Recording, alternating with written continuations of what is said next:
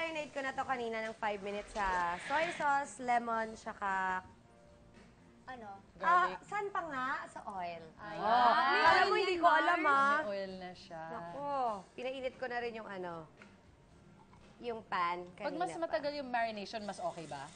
Ah, oo, mas okay kasi para ma- nandun yung lasa, di ba? Pero 5 minutes okay na rin po. Kasi to 5 minutes lang to. Yun yung mga Mabilisan, madalian. Mars. Correct. Wow! Mars, ang lakas! Para maluto agad. So, Mars, hintayin lang maluto yung chicken. Oh, yes, Mars. Medyo ibabrown natin siya ng konti. Okay. Masarap magluto yan si Kat. Ay, oo, Mars. nagbe-bake din Hindi yan. Mars.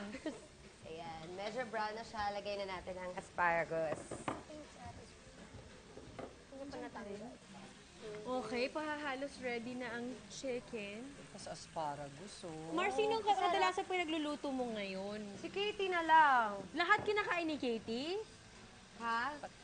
Konti lang kasi niluluto ko. Tsaka yung mga sa bahay. Na ganun yan, lang? yan. Kapraso lang. Sa bahay Mahilig siya sa din. gulay? Ha? Gulay, mahilig siya. Tinutulog ko pa. Ayun. Oo nga. Super mom yan. Ako mga Mars, kung alam nyo lang. Wow, Mars, Nice proud kami sa'yo. hear. Parang dati na. nang dalaga ka, hindi halata. Oo, hindi ko Diba? nakikita. Parang hindi talaga halata. Hindi ko rin nakikita dati. Alain mo yan. Pagdating Oo. talaga ng panahon, ano. Akalain mo yun. Oo, magugulat ka na. Bigla-bigla na lang.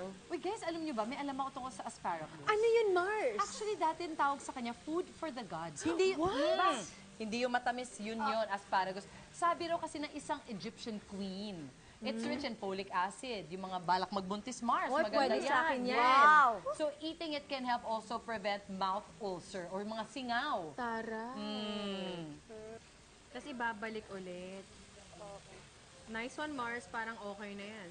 Hindi, isi- isi-season mo ba o wala na dahil meron ng marinade, no? Meron na, oo. Okay. Alam mo, pag titignan ko si Kat, pwede na siya mag-asawa. Parang Nax. ready na siya mag-asawa. Oo, no? Ready, Ready na siya. na. Mars, kung ano ba papipiliin ka, may makikilala kang lalaki ngayon na gusto kang pakasalan. Wow! Tatanggapin mo ba ang alok niya? Dapat gusto mo. Depende. Hindi lang dahil gusto kanyang Pakasalan. pakasalan. Oo nga Bah! naman. Hindi, oh. Ah, Ito na nga, magsasangag na lang ako. Ayan ang sinangag, sarap.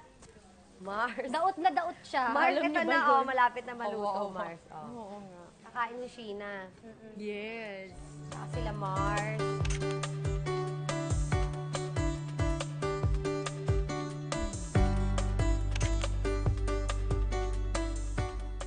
Oo, nakaka-excite. Mmm. Mhm.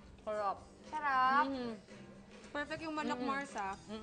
Niluto ko talaga yan. Ano, Sheena? Kamusta? Mm. Lambot. Crunchy yung malung... Ay, yung malunggay. Malunggay? Ba't ako may malunggay? Asparagus. Asparagus pala. Sarap. Perfect.